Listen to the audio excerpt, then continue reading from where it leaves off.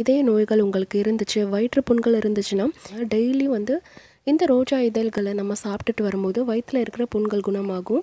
இதயம் வந்து வலுப்பெறும் அப்படின்னு சொல்லிட்டு சொல்லுவாங்க. சருமத்தில் ஏற்படுற வறட்சியை போக்கி சருமம் வந்து நல்ல பொலிவோடு இருக்கிறதுக்கு இந்த ரோஜா இதழ்கள் ரொம்ப ரொம்ப ஹெல்ப் பண்ணும். கண்கள் பார்த்திங்கன்னா நிறைய பேருக்கு சிவந்து காணப்படும். அந்த பிரச்சனைக்கும் இந்த ரோஜா இதழ்கள் பார்த்திங்கன்னா ஒரு நல்ல தீர்வாக அமையும். நாள்பட்ட மாதவிடாய் வந்து இருக்கும் சிலருக்கு. அதிகமான ரத்தப்போக்கு இருக்கும் இல்லையா? அந்த மாதிரி பிரச்சனை இருக்கிறவங்களுக்கும் இந்த பன்னீர் ரோஜா இதழ்கள் வந்து ரொம்ப ரொம்ப ஹெல்ப் பண்ணும்.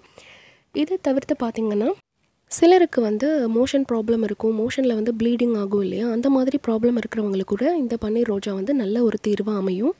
இந்த பன்னீர் ரோஜா இதழ்களை நீங்கள் டெய்லி சாப்பிட்டுட்டு வரும்போது உங்களுடைய கண்ணுக்கு கீழே இருக்கிற கருவளையம் எல்லாம் மறைஞ்சு போகி ப்ரெக்னன்சி லேடிஸ் இருக்கிற வீட்லேயும் சரி இதே பிரச்சனை இருக்கிறவங்களுக்கும் சரி அவங்க வீட்டில் கண்டிப்பாக இந்த பன்னீர் ரோஜா செடி இருக்கணும். டெய்லியும் வந்து அவங்க இந்த பன்னீர் ரோஜா இதழ்களை எடுத்துக்கிறது ரொம்ப ரொம்ப ரொம்ப ஹெல்ப் நல்லது.